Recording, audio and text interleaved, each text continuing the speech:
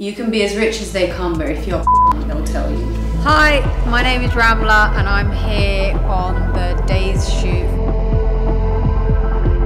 Best thing about British summer will probably have to be the Notting Hill Carnival. The greatest thing about Britain is how very multicultural it is. The British national dish should actually be jerk chicken, rice and peas with a side of plantain.